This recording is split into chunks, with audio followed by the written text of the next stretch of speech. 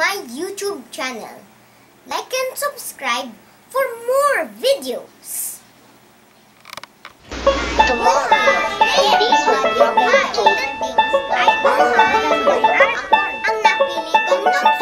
Boom!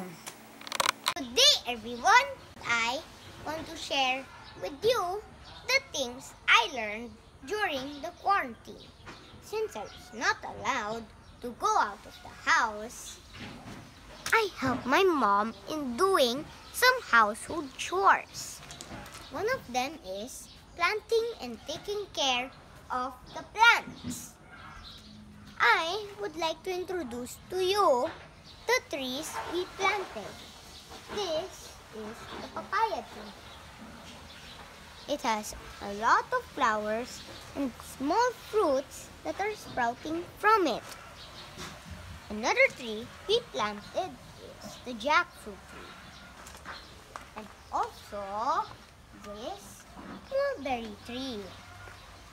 Perhaps a month or two, we can harvest the fruits from the papaya tree and also this chico tree and share them with you. As you can see, there is one fruit that is coming out from this chico tree. What I also do every morning is to water the plants in our garden. I will show you how.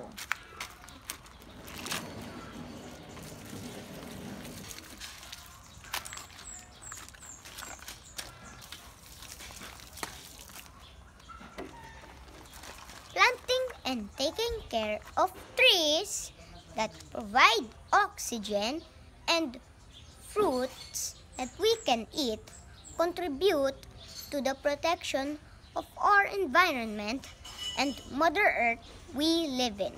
Thank you for watching. Have a good day. Bye.